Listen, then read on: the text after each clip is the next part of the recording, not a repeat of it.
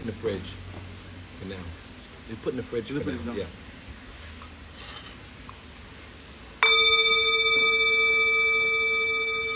I'm getting better. This is, I said, the heart chakra. This is the Muladhara, the Swadhisthana, the Manipura, and the Anahata, the heart chakra. It's supposed to be, when you're in the lower chakras, self-preservation. Self and others close to you, very close, family. And then, then it goes up and creative and various different parts of you open up. And the heart chakra is when you start to give unconditionally, when you love the idea of just being, love, love more the idea of being a servant and, and, a, and a giver. And then from the heart chakra, we continue to go up to, to finally the sa- sahasrara, which is like you take care of yourself 100% because you're God's servant. You have to do a good job. So it's all in alignment.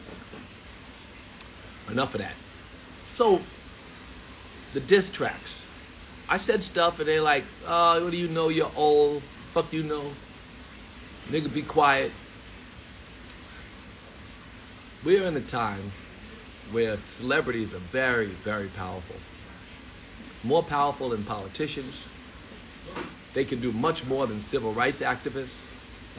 They can make anything happen. They can move mountains. They can move mountains. I mean, literally, if, if Drake and Kendrick said, we want to promote a ceasefire, they can make so many kids upset. And if they went to the campuses and, or whatever they choose, you know, whatever they think is necessary for, the, for their beloved communities, whatever they want to do for them, they can get it done, especially together. Imagine that. So when they do their diss tracks, and Rick Rubin again used to say it was like pro wrestling. Well, not really. These guys are big. Their influence is giant. Their potential is, oh my God. And so when they attack each other, it's disappointing because they're such powerful figures. And they're not just who they are, they're reflections of the people who love them. And the people are reflections of them in some cases because they love them. So they learn from them and they are expressing what the people are thinking and feeling. I've always said that. They express what the people in a combative world when they are uh, in combat.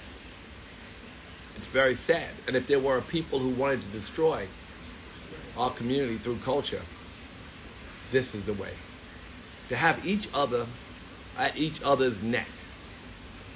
Because they're not saying, like, this ain't wrestling. These niggas, they ain't saying uh, um, little stuff. They're saying, like, the meanest things they can come up with. They're digging deep into the dirt surrounding each other and sharing it. The feds be looking too. Like, they see that shit, like, well, let me check into that. Right? What they do? They like, what? Well, let me see. So and so did what? Really, really? Let me check investigations of people and their lives are ruined. And sometimes the cases are framed and not true.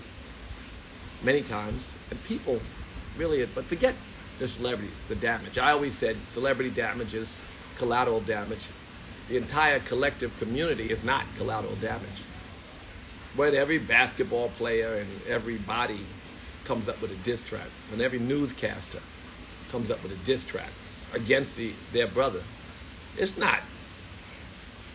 It's not that simple, because now we have people at each other's neck, and they're teaching us to. to it's it's a very sad situation, and I'm sorry to say it because everybody thinks it's just entertainment. But you consume things, you are what you consume. And I just I don't remember a point in my living experience, my lifetime, where the public discussions, well, certainly we didn't have social media, so could never have happened, but was how so and so is better than so and so. That's all we cared about. And to the demise of so and so never made, never happened. Uh, Harry Belafonte, and uh, I just use his example, such a great example. I used to look up to him. He was my mentor, along with so many others. I mean, God, he was one of my mentors. It was they were actors, yeah, they were just entertainers, but then they stood next to Dr. King. stood next to whoever, Reverend Ike. I mean, they stood next to activists, and they stood up and they marched and they did the rest, and they got us to march. Jay Z, along with 50 Cent, along with Ja Rule, along with who were beefing, along with the Beastie Boys and Run DMC and LL Cool J and Public Enemy and Slick Rick, and all of them came to that one rally where we got 10,000 black men out of jail. Not that long ago. And it, it was a moment for hip hop, I thought. Well, certainly for me. I, I didn't do much in my life, but I didn't, no, I didn't say that. I'd take that back. That sounds selfish. What I mean is, I didn't do that much in my life where there's anything more profound than getting 10,000 black men out of jail. Nothing happened great in that. That was done because hip hop said so. So I just want to say that let's not all take on. I like that Drake and Kendrick. You see that they stopped it before. And having spoken to Top Dawg, he said, you know, I had to put out a few fires. I don't know if he wants me to say that, but he had to put a few fires out. Them fires could have burnt. I think Drake's house was under attack. What about them Compton niggas? We don't want that. God knows we don't want another Biggie and Tupac, but what does it say for the collective? Greater than all the rich people who don't matter to our lives in real life. They don't matter. They're just a group of people. You think they're in the Illuminati. It's so crazy because you don't have, you just watch them. You learn from them, but you watch them, and they're not real. They're just images, and they're just entertainment. But you're learning from them, and our collective is hurting because of them. If they reflect your thirst for dirt, if they reflect your higher selves, and Minister Farrakhan always said that, if they reflect your higher selves, because you have both sides. And Kendrick mostly, almost always talks about uplifting, inspired things. So if they do that, it will change your life and the collective community. Every vibration matters. Every lifting, every time they lift a vibration a little bit, it matters. So right now, I can't count the number of disses that are going on, diss tracks. I mean, people who aren't rappers are doing diss tracks, right?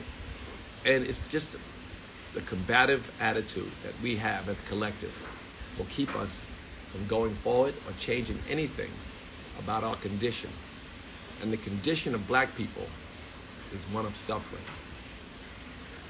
Make no mistake, we are not advancing. And our heroes are important to us because they help us to, they guide us in different um, directions, hopefully up. So that's it. Last time I'm talking about this, I ain't saying nothing else. I feel like I've been attacked for saying certain things, even. But you know what? I just, I don't mind being attacked. I've been attacked. Six years I've been attacked. But I'm happy to share when I can. And they say nobody cares what you say. Well, there's 1.6 million people, and some of them actually care. And when I walk the street and someone said, I read your book and it changed my life, if it's one person, it, it means something to me. So this is my, this is what I want to share with you, and I, and I hope it really brings to some of us that we can try to get out of the mud. It's one by one. I can't change the whole group. I can say it's one by one. Namaste, yogis.